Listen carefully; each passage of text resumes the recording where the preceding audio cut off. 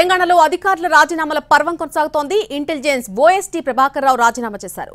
కొన్నాళ్ళుగా ఇంటెలిజెన్స్లో ఓఎస్టీగా కొనసాగుతున్నారు Prabhakar Rao. Hyderabad task force OSD Radhakishan Rao కూడా రాజీనామా చేశారు.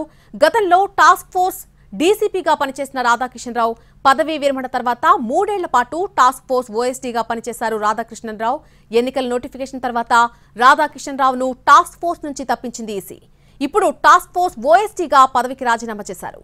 ఇక ఈ ఉదయం ప్రభుత్వ సలహాదారు రిటైర్డ్ ఐఏఎస్ అధికారి రమణాచారి తన పదవికి రాజీనామా చేశారు. మరోవైపు ట్రాన్స్కో జెన్కో పదవికి దేవులపల్లి ప్రభాకర్ రావు కూడా రిజైన్ చేయడం జరిగింది.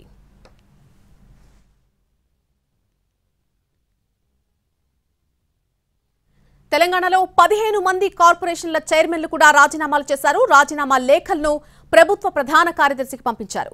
తెలంగాణ పునర్నిర్మాణంలో తమకు అవకాశం కల్పించిన కేసీఆర్కు కృతజ్ఞతలు చెప్పారు కార్పొరేషన్ల చైర్మన్లు.